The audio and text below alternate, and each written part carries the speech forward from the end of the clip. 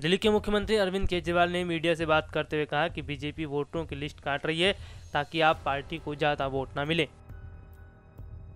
दिल्ली में पिछले कुछ महीनों में और पिछले कुछ वर्षों में, पिछले विधानसभा चुनाव के बाद बहुत बड़े स्तर पे वोट काटे गए हैं। चुनाव आयोग ने बताया कि 10 लाख वोट कटे हैं पिछले विधानसभा चुनाव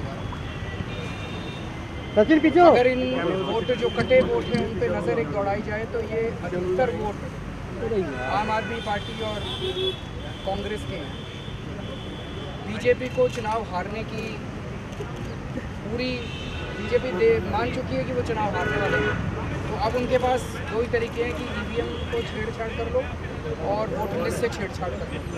तो इस तरह से वोटर लिस्टों से बड़े स्तर पे बीजेपी के लोग नीचे के अधिकारियों से मिलकर नाम कटवा रहे हैं। हमने सैंपल के तौर पे नौ नामों की लिस्ट दी उनको जिस पे दिल्ली सरकार ने इंक्वायरी कराई। तो पता चला कि पी ने अपनी मर्ज़ी से अपने घर पे बैठ के नौ नाम काट दिए। और जब मैंने इंक्वायरी कराई तो उन्होंने कहा हाँ जी ये एग्जिस्ट करते हैं हमसे गलती हो गई और तो हमारा एक तो इनको ये था कि ये जितने नाम कटे हैं इन सारे कटे हुए नामों के लिस्ट को वेबसाइट पर डाला जाए। आपको बता दें, दिल्ली के मुख्यमंत्री ने कहा कि बीजेपी को हार का डर सता रहा है इसलिए वो ये काम कर रही है। एस पी न्यूज़ रूम से राहुल की रिपोर्ट।